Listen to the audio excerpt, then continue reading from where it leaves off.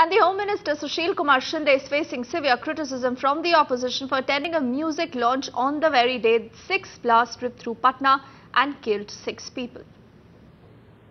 तीन डेट मैंने दी दी थी लेकिन मैं काम में व्यस्त रहा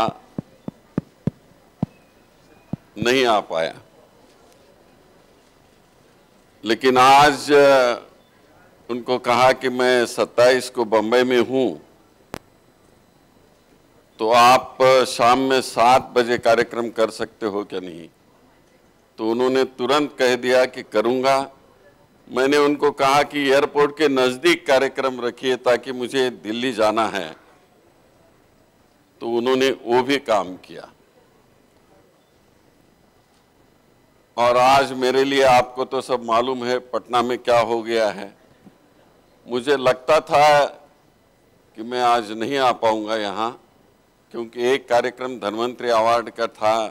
एक देश के बहुत बड़े डॉक्टर को आज धनवंतरी अवार्ड मिला है।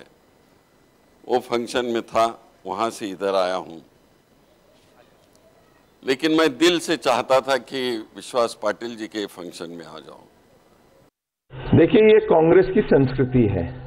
जब 26 ग्यारह हुआ तो उस समय जो गृह मंत्री थे, वो कपड़ा बदल बदल के टीवी चैनल के सामने आ रहे थे। और बयानबाजी कर रहे थे। अब जब हुंकार रैली हुई, जहाँ पे सीरियल ब्लास्ट हुआ, वहाँ पे छह लाख के ऊपर लोग थे अफरा तफरी हो सकती थी, उसको कंट्रोल ना करते हुए एक म्यूज़िक लॉन्च कर रहे थे, उसके अंदर शिरकत कर रहे थे। तो ये आदत हो गई है कांग्रेस के गृह मंत्री की या मंत्रियों की कि वो जो चीज़ जिस पे ध्यान देना चाहिए एक अच्छा गवर्नेंस देना चाहिए, उसके ऊपर ध्यान नहीं देते, वो अपने कपड़ों के ऊपर और म्यूज़िक के ऊपर ज़्यादा ध्यान देते हैं।